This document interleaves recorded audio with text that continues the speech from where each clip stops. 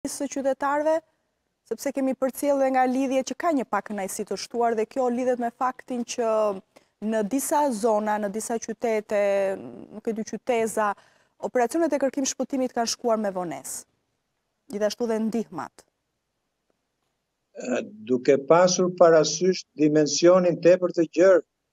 të katastrofës shkaktuar, një zonë relativisht shumë e madhe,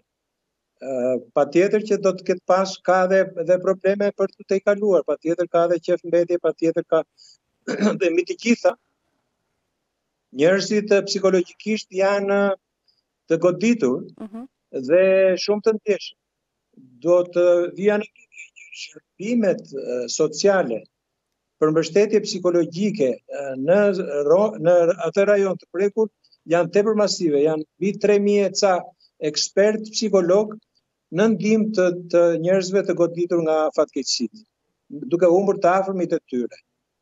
Ë uh, mendoj që një problem serioz dhe që qeveria turke po përpiqet ta adresojë sa më mirë është edhe problemi i vijimit të vitit shkollor, pasi Në zonat e prekura ka gati mbi tre milionë e gjysmë nxënës dhe studentë, të cilët kanë ndërprerë procesin mësimor dhe Ministria e Arsimit e Turqisë po përpiqet që në një të ardhme të afërt ky proces mësimor të vijojë në normalitetin e vet.